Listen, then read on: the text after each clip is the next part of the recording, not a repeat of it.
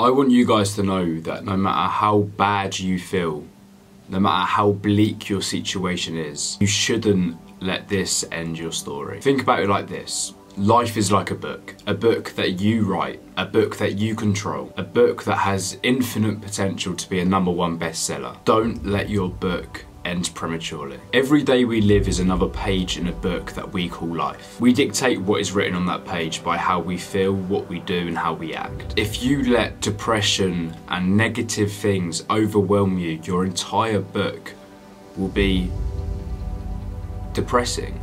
It will be negative, and you are the only one that can that can change that. The odds of being born are 1 in 400 billion. There are 8 billion people on the planet. The odds of you being born are 1 in 400 billion. You are more likely to be bitten and killed by a shark 100,000 times than be born.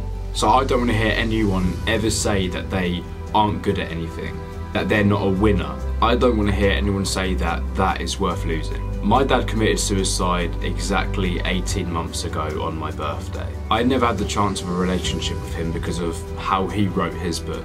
He was an abusive heroin addict who chased his next high instead of chasing his heart and being with family, being with people that he was meant to love. And I guarantee the last thing that he thought when he was laying there in his one bed apartment in Luton in a puddle of his own sick on his living room floor after injecting too much heroin.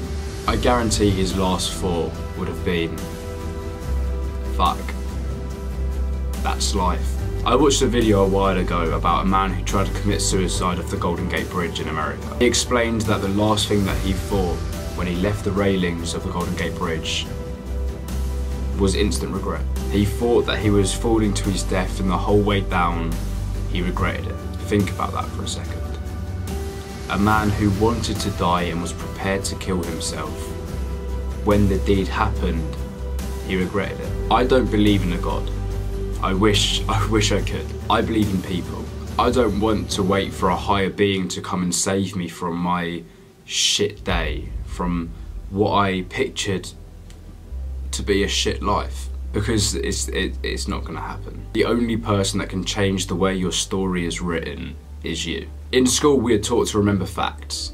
We are taught to remember facts on a piece of paper, and we are told that if you remember these facts correctly, you'll be successful. That's how we measure success in this world. We are not taught how to live a happy and healthy life. Because I promise you, I promise you, that getting A stars in school may look good, but it won't make you any happier than if you got all Fs. I left school with four GCSEs. Pretty much my entire school life I was being mentally and physically abused by my dad.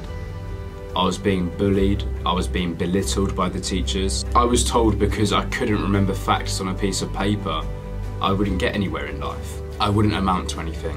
Oh, don't be like Mike, he won't get anywhere. People in my class will remember that being said. All I ever heard from teachers and, and students and my dad was, you can't do this. You can't do that. You shouldn't do this. You shouldn't do that. It, there was never a, you can do it. There's not enough positivity in the world. A study was made a while ago that shows that one in four people will suffer from depression or anxiety or both at some point in their lifetime. That doesn't mean, oh, I feel sad. That means that they are clinically depressed. And that shouldn't be the case. If you are suffering from depression and you are watching this video now, I want to say again, please don't let this negative part of your life affect your story. If you let your depression and if you let these negative thoughts affect your entire book, not even you will want to read it. Go out there and find something that makes you happy. Don't listen to anyone else. You don't need good grades. If you don't want to be a lawyer, if you don't want to be a doctor, don't be a lawyer or a doctor just because people say it's good. The only way to find real happiness in the world is to find out who you are and chase that. Don't live your life half full. Don't let your book be depressing. I've tried to take my life before. I've thought about it way more times than I've tried. I used to cut. I used to escape life through any means possible until I realised that life is what you make it.